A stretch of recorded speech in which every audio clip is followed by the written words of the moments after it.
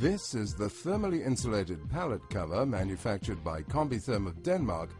It is used to cover temperature-sensitive goods during transportation.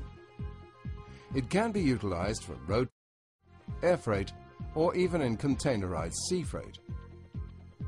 The thermally insulated pallet cover is made from very durable layers of reflective alu-coated per textile, PP, polypropylene, and or LDPE, low-density polyethylene.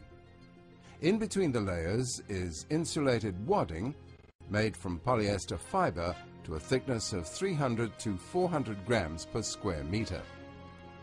These pallet covers are made with 1 to 4 splits which feature industrial strength Velcro closures.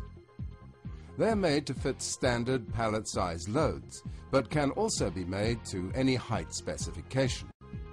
Pallet covers are also available for cage roll tainers. Using thermally insulated pallet covers in refrigerated transport saves fuel and energy, as the refrigeration unit doesn't have to work as hard to maintain the required temperature.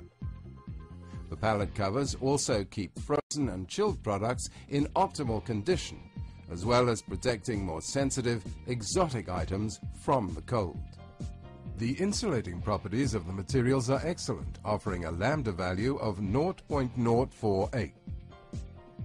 You can also use thermally insulated pallet covers in non-refrigerated vehicles for perishables such as fresh fruit, vegetables or eggs and deliver better quality to your customer every time.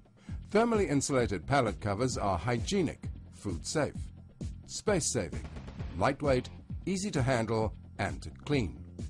They are water repellent, durable, and are a cost-effective answer to the problems of keeping perishables in the best condition possible during transportation. For the most effective use, place an insulated bottom mat like this to protect the underside of the load. Store the pallet cover at the same temperature as the product to be transported for the preceding 12 hours. This improves its efficiency over a longer period. Pallet covers also assist with the security of a load, as once fitted, petty pilferage becomes virtually impossible.